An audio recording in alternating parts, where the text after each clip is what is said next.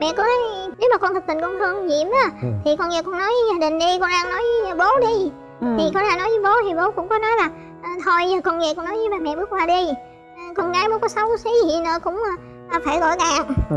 thế xong anh về anh cũng nói với mẹ anh đưa hình cho mẹ nhưng mà mẹ không đồng ý Ừ. mẹ anh cũng thuyết phục mà thuyết phục không được bố con cũng không chịu luôn mẹ con biết sao thì thôi hai đứa tự quyết định mẹ nói thôi à cứ đi tới lưu vài á lỡ như có chuyện gì á thì người ta sẽ dị nghị Ừ. thì thôi giờ à, hai đứa đang kết hôn đi. Ừ. đi đăng ký kết hôn đó. À, ừ. cái xong cái anh mới gọi cho cậu của ảnh. Cậu mới làm cho cái uh, tờ giấy độc thân. Anh cầm cái tờ giấy độc thân đó qua bên con để đăng ký. Ừ. Ừ. là hai hai đứa đi đăng ký kết hôn.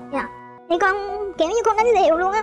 Thì anh này là một cái phao để cứu con điểm tựa cho con.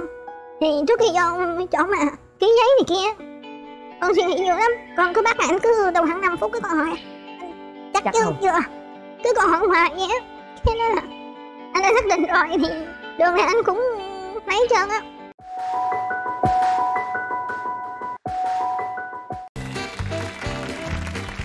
Wow. Rất là ờ, vui và rất là hạnh phúc khi mà được ờ, chào đón hai em đến với chương trình Vợ chồng son. Ha? Đúng rồi, chưa gì đã thấy ông chồng này rất là gọi là ngưỡng mộ ông chồng nha. Ừm, Dạ con à, chào à, cô Hồng Vân, chú Quốc Thận Con tên Nguyễn Minh Trí, năm nay con 29 tuổi, đến Ừ. từ Long An Công việc của Trí là gì? Dạ hiện tại thì con đang làm à, trang trí nội thất Rồi mời bà xã của Trí giới thiệu Dạ. về mình. Dạ, à, con chào à, thần tượng của con là cô Hồng Vân là chú Quốc Thuận Ừ. Con à, tên là Ngọc Diễm Diễm. Con cũng đến từ Long An Con năm nay nhiêu tuổi rồi? Dạ 33 rồi 33. Hiện tại giờ là hai chồng đang ở Long Thành, Đồng Nai á À, Như vậy là hai đứa gặp nhau ở đâu?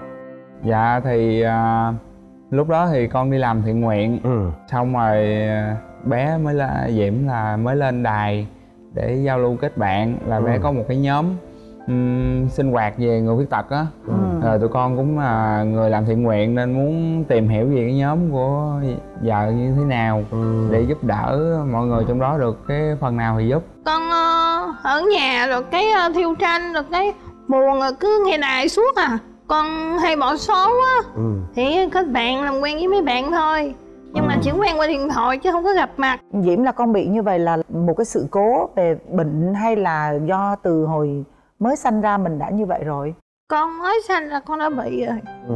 tại vì lúc mà con sanh ở nhà giường chứ con không có sanh ở bệnh viện Ừ. xong rồi cái cái người của con là con không có ờ, bị suy dinh dưỡng Ừ. không có ngồi được luôn xong rồi cái ờ, mẹ mới đưa đi điều trị nhưng mà điều trị cũng không được đứng ngồi cũng không được luôn rồi cái ờ, mẹ mới tập ngồi từ từ Ừ. thì lúc đó thì ngồi được ừ, rồi bò ở dưới đất á rồi mẹ chăm sóc rồi ở nhà suốt cái mẹ không có đi đâu hết trơn á Ừ. ở xóm không có quen bạn nào hết trơn Ừ. Có nghĩa là mình sanh ra mình giống như Dạ. mình bị bẩm sinh rồi á đúng dạ không? đúng rồi Rồi sao nè? Con nói cái lúc mà con gặp Diễm ờ, đầu tiên, lúc lần đầu tiên con gặp Diễm thì sao? Có ấn tượng gì về cô gái này nói không? chung là lúc đầu cũng chưa ấn tượng gì Ừ. chỉ muốn là tìm hiểu về công việc thôi tại Ừ. vì con á là có nguyên một nhóm thiện nguyện để giúp đỡ những người khuyết tật á Ừ.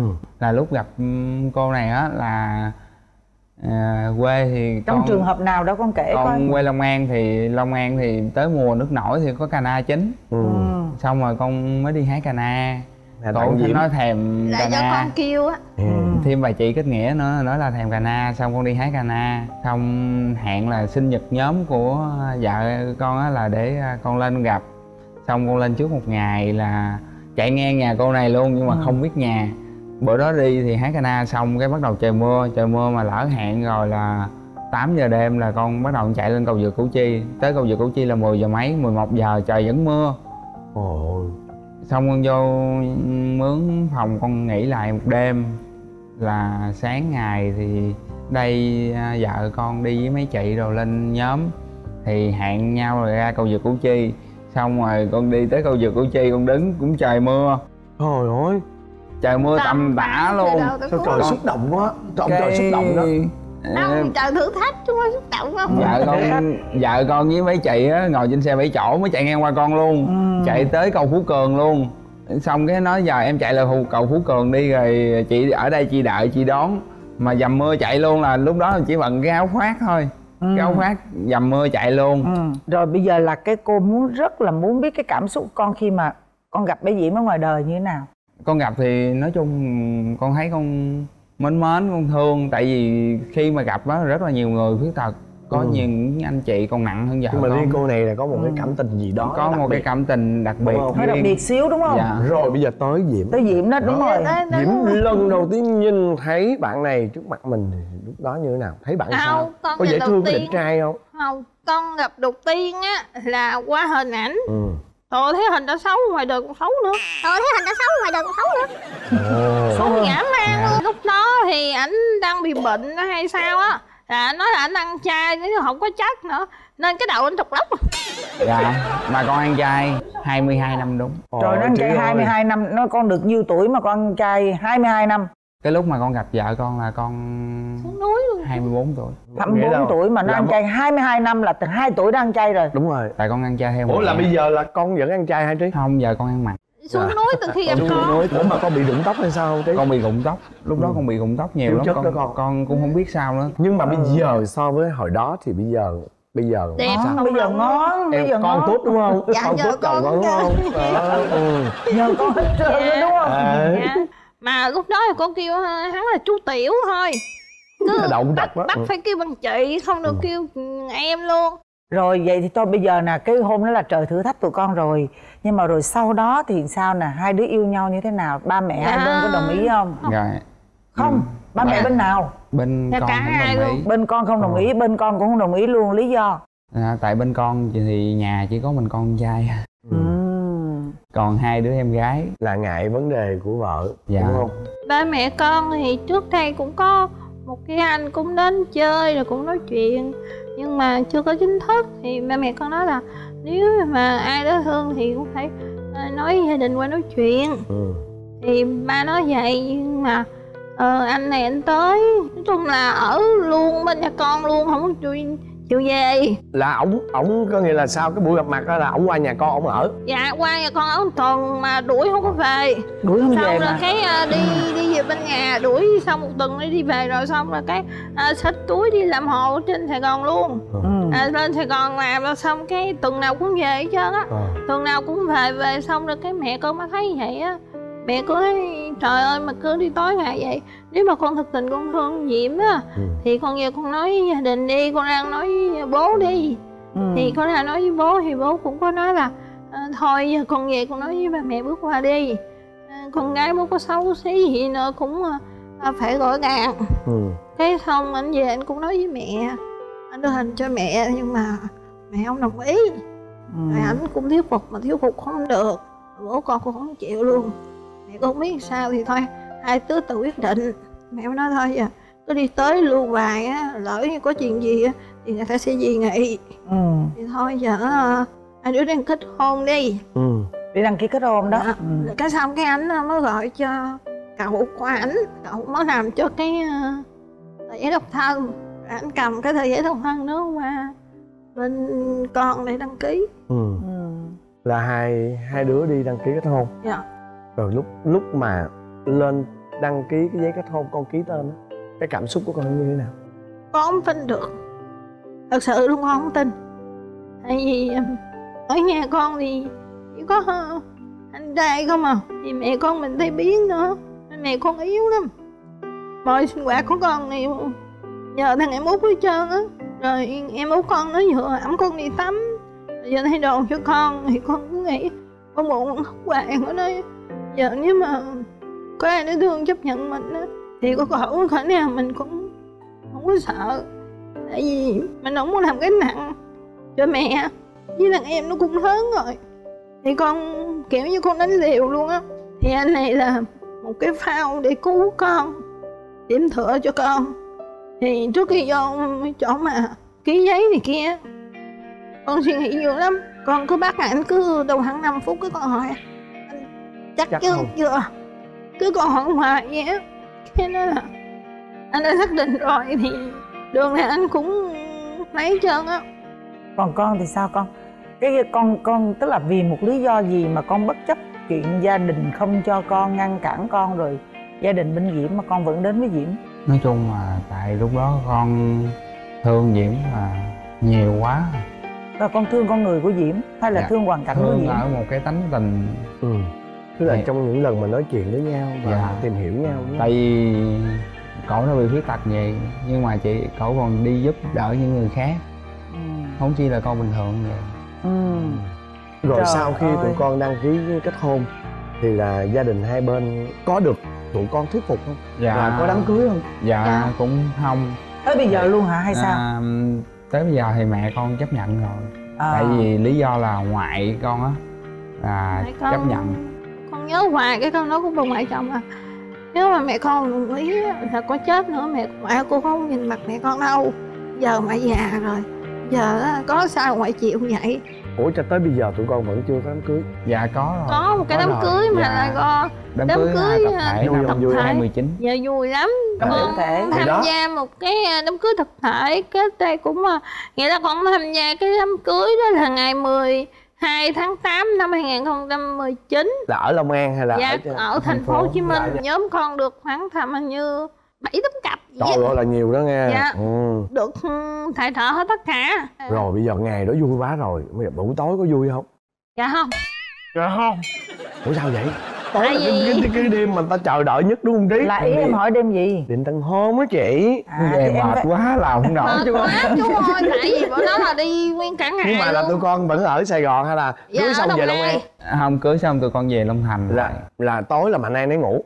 Dạ mà nay đi ngủ. chưa có đêm tân hôn. Thấy không dạ tại Rồi vì lâu lâu mới có đêm tân hôn nè. Rồi đêm tân hôn nó có cái gì đặc biệt không nè cỡ Mắc cỡ hả?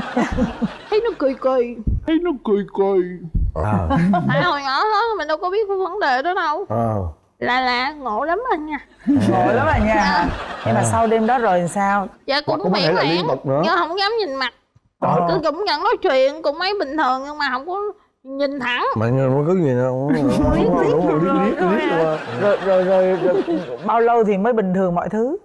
dạ khoảng thăm ngày à Dạ khoảng thăm ngày à. Để con mau Chà, quên lâu quá luôn á. Là lúc đó là 2019 dạ. Là bây giờ là tụi con là đã được uh, 3 năm. Bao giờ quay đến ờ, đến cái phần Dịch phần mặt. hấp dẫn nhất chắc Dạ. con cũng chờ đợi đúng không? Dịch mặt. Đó thôi để diễm nói nè. Tật xấu của bạn ấy là cái gì nè? Dạ ngủ. Quá ngủ à? không thức khuya thức cỡ nào? Với ăn. Khuya làm không gì? ăn con biết nó có thức khuya cứ bấm điện thoại lướt hết trang này tới trang kia.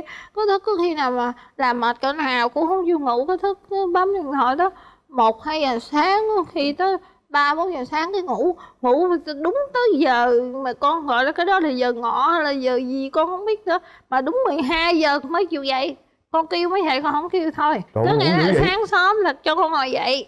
Cái nào con lên xe xong rồi con muốn đi đâu con làm gì con đi đi, bán cái số xong rồi con đi chợ đi lặt rau không con làm không biết tại xung quanh phòng chợ thì có mấy đứa nhỏ thì con có thể nhờ được cái kêu anh mà con không chịu dậy nhưng mà đúng Ừ. đó giờ đó thì dậy dậy xong rồi nấu cơm nấu nước rồi đi tắm vợ xong rồi mới đi làm ừ. Coi như là mê ngủ Một Mê cái ngủ. tật xấu là ngủ quá ngủ đúng không? dạ. Ừ. Rồi tật gì nữa? không chịu ăn Làm biếng ăn. ăn Dạ, chú có thể bây giờ từ khuya từ giờ bắt đầu anh đi ngủ cho tới 3 giờ chiều 4 giờ tối 8 giờ anh không ăn Sao chỉ nó không cho lây cái bệnh nó qua thôi. cho tôi ta? Nó Rồi là làm con biếng ăn nè con ơi con là bây giờ là con còn phải có một cái nhiệm vụ với vợ con nữa là chăm sóc vợ mình Dạ. Hả? mình phải ăn mình mới có đủ sức thì mình mới ẩm bả được chứ đúng không Dạ. còn không ăn rồi sức đâu mà ẩm bả Mà con lại thì tầm tối khoảng tầm 7 giờ tối là ăn nhiều lắm nhưng mà ăn có bất nhậu chấp không luôn nhậu nhiều lắm nhậu với ai? Nhậu với bạn bè nói chung là nhậu gì đam mê. Mà nhậu gần nhà hay là nhậu xa Nhậu, nhà bỏ ờ, vợ nhà mình? Cũng có nhưng mà ít khi lắm. Nghĩa là cũng có đôi khi mà vui quá đà với bạn á thì có khi bỏ vợ nhà tới một hai giờ sáng thì cũng Ôi có ôi. nhưng mà cũng ít. Nhưng mà giờ trong tất cả những cái tật xấu của chồng con Con mong chồng con thay đổi cái gì nhất? bớt nhậu.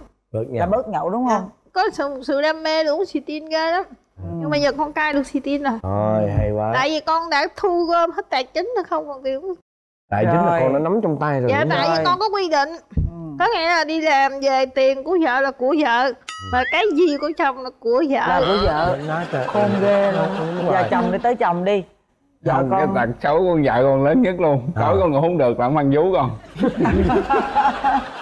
Cái đó cưng mà cái đó cưng mà. Không nhậu cũng con không ngủ được đúng không nó không có chịu mà nó làm người ta thì được nhưng mà con nó không cho mình làm nó. Nó mà nó làm mình được. Ờ. Gì mà bất mà nó công bất vậy? đó Ừ. con bất công chỗ đó mà con phải làm cho mình nhưng được. mà còn tật xấu gì nữa không không? thôi chỉ nhiêu đó à cái tật chỉ- nó dễ thương mà. Thôi nhột. Lắm nhưng mà nhưng mà tính diễm á có có dễ xúc động không? Hay khóc có dễ nhè tự không ái không? Đó. hay giận. Hay giận. Có mỗi lần giận là như thế nào giận xong cái là khóc cái là bỏ đi ra ngoài đường. Chừng nào hết về. Leo lên xe hay sao? Không xe thì con ẩm lên xe mới được. Ủa gì cái lúc giận thì đâu thể nào mà anh ẩm tôi lên xe. Tôi không đi ra con đường. con con lựa lúc giận có nghĩa là con lên xe con mới giận còn dưới giường thì con con khóc tính. xong rồi con ngồi.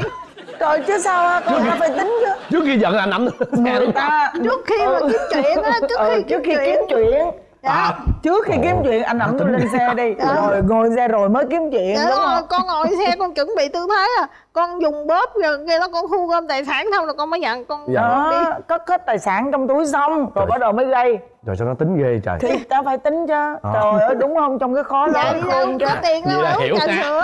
Còn mày trong mình mà lắm rồi. đừng ẩm lên xe. Đó. Cho giận lại. Nè tại vì ở phòng đó đó đồng minh của vợ con đông lắm. Ủa gì hả? Chống không lại bây giờ con có có mong vợ con thay Ừ. đổi gì không? Nói chung là đừng mang vú để con ngủ là được rồi. Trời ơi mà đó, nó mong thương mà đúng nó không mong đừng mang vú nó thì hôm nay ha mang dễ cho gì mình không thay đổi đâu. Đây là một câu chuyện có thật thưa quý vị chứ đây là một câu chuyện cổ tích. Thật ra hồi nãy khi mà con nói mà con không tin rằng là con được đăng ký kết Ừ, hôn ừ. với một người đàn ông bình thường như thế này thật sự chú rất rất là xúc động. Đó và thôi thì bây giờ để kết thúc chương trình thì chú xin chúc phúc cho hai đứa con diễm và trí nha sẽ thương nhau hoài ha yêu nhau mãi và hạnh phúc mãi. À, lời đầu tiên thì cho vợ chồng à, Xuân Phúc và Trúc Thanh xin gửi lời chào à, thân ái nhất đến toàn thể quý vị khán giả đang theo dõi chương trình Vợ chồng Son và gửi lời chào đến à, chị Hồng Vân và anh Quốc Thuận. Tên đầy đủ của mình là Nguyễn Xuân Phúc, sinh ngày 24 tháng 3 năm 1992. Thì mình đang là diễn viên điện ảnh truyền hình, công tác tại à, thành phố Hồ Chí Minh và cũng à, sống chung với à, chị sư tử của mình. ở nhà em giữ hay sao vậy mà anh nói là chị sư tử gì em bị mang tiếng mà giờ không có miếng thì cũng kỳ thôi lỡ mang tiếng rồi mình làm luôn chứ sao À. rồi mời em dạ em xin tự giới thiệu em là trúc thanh bằng tuổi với phúc và em đang làm nhân viên văn phòng sao mà ông ông ông cua được ờ, nhân viên văn phòng xinh đẹp gì vậy phúc? Em à, nhường cho vợ em à, phát biểu ạ. trước khi làm nhân viên văn phòng á, là em cũng có đi đóng quảng cáo. Thì hai người cùng đóng quảng cáo chung với nhau. Rồi em cũng là cô dâu phúc là chú rể. Ông lúc đó đang thả thính em á thì là ổng đang yêu một cô. Chưa có dứt. Sau này yêu rồi mới khai. Sau này còn dám gan kể lại với em là nhưng mà anh yêu cô kia có một thời gian ngắn à chưa kịp sơ múi gì người ta nữa Em, em giữ kín cho anh tí.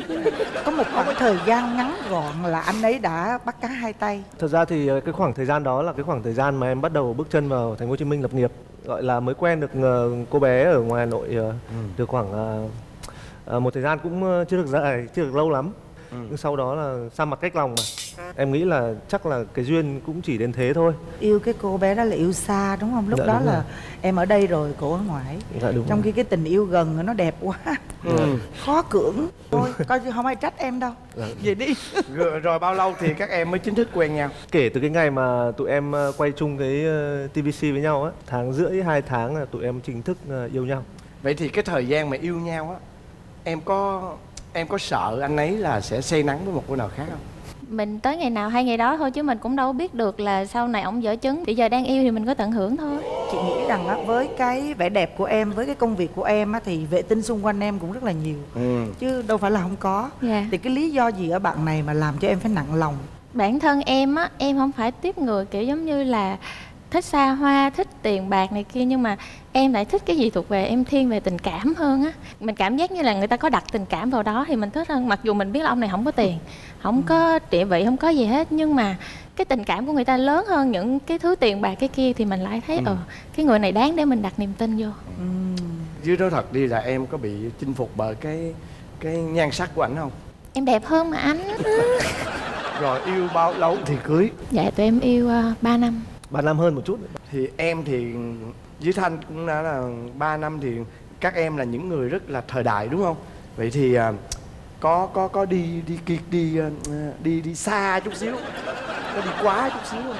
Em hiểu á À, em, em à, hiểu à, anh quá. anh thuận là cái con người anh ngộ lắm là biết thích tìm hiểu những cái chuyện riêng tư của người ta. Có mần ăn hay không hay là cái chuyện người ta có ăn cơm trước kẽn hay không? Tụi em thì cũng bình thường thôi cũng không có gì gọi là kinh khủng đâu. Cũng Đâu sương sương. Lần đầu mà hai đứa ừ, đang nhớ lắm. Ừ. thì kiểu như ông chắc ổng háo hức quá ổng vui quá rồi xong chạy chạy đua chạy dữ lắm chạy hơi quá chớn tới đích hơi sớm. Mình cũng hơi hụt hẫng. Ừ, thấy cũng kinh nghiệm lắm mà hiệp hai anh bù lại cho em thì chứ hiệp hai là hơi bị hoành tráng luôn đấy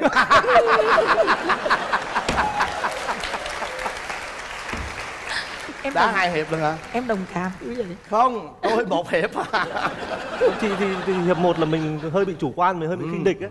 Cho nên là mình hay bị ờ, ấy nó, nó hơi bị bị, bị anh cảm xúc nó hơi bị thăng hoa quá. Đấy, hiệp hai thì em em em biết địch như nào rồi. Thì em bắt đầu em lựa. Đấy, em luồn lách. Đấy.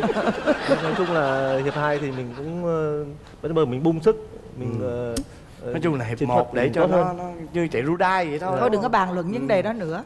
Chút xíu hai đứa vô trong bàn luận. Rồi bao lâu thì các em cưới? Tụi em ờ, chính thức ờ, kết hôn vào ngày ờ, mùng 1 tháng 10 à. năm 2018 các em có tật xấu nào lòi ra không? Em em lấy giấy ra em em đọc tật xấu rồi vậy? Dạ em lấy giấy em lau mồ hôi ạ. À. em em lau cho vợ em. Bình tĩnh nói nha. Rồi ai nói trước nè để em nói. Chắc kể tới tối. Thứ nhất là ẩu lắm. Tức là kiểu kiểu như đàn ông á đi toilet hay gì thì ờ, mình dỡ cái nắp ừm, cái bồn cầu lên đi. Trời đi cứ vương vãi xung quanh đó là bây giờ em ra cái điều phạt luôn. Cứ như vậy là hai đánh hai chục cây. Tức là nằm nằm sấp xuống.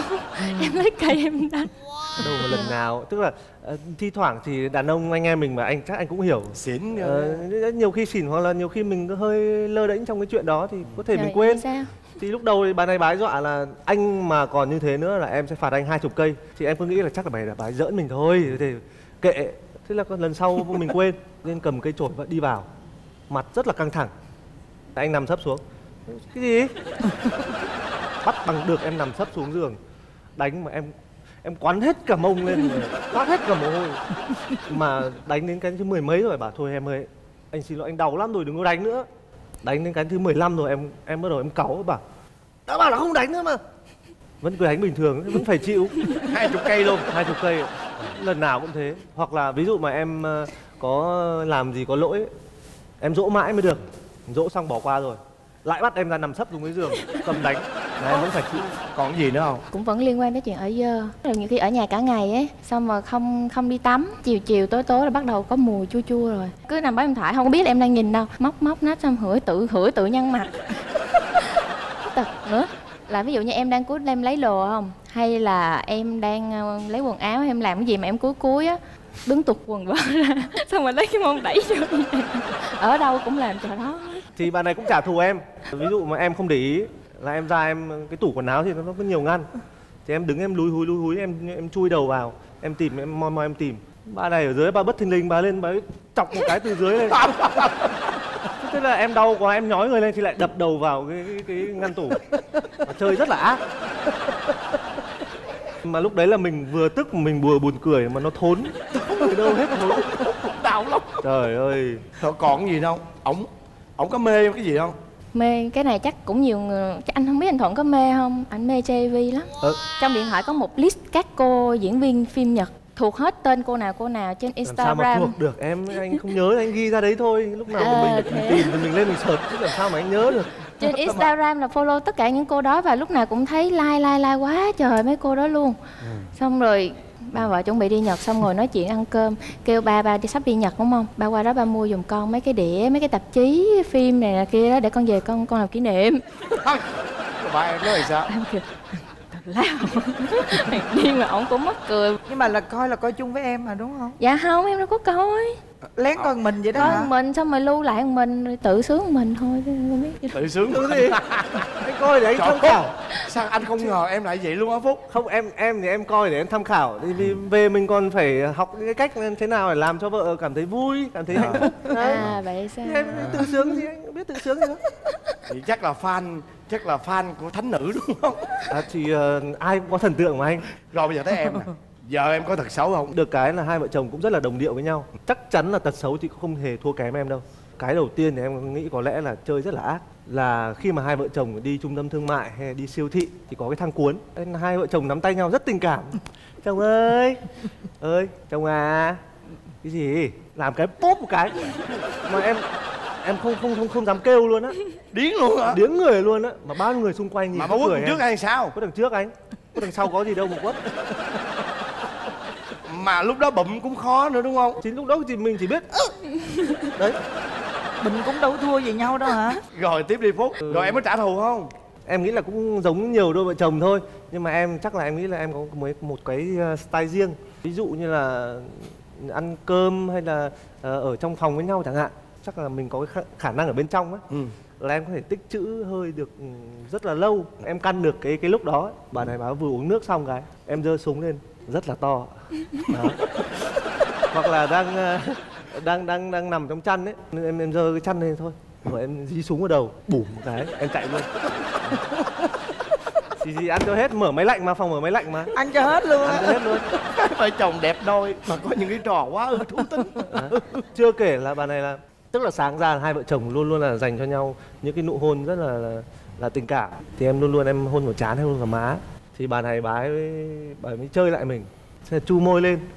Bảo, "Ơ, không, thơ, thơm môi ờ, cũng được. Thơm môi cái. Chưa kịp phản ứng gì bà ấy đùn một ít nước miếng ra ngoài miệng và em em rất ghê cái trò đấy. Mà lần nào cũng chơi cái trò đấy với em. Em rất là bực. Mình vừa hôn chụt cái ui Nguyễn hết ở mồm.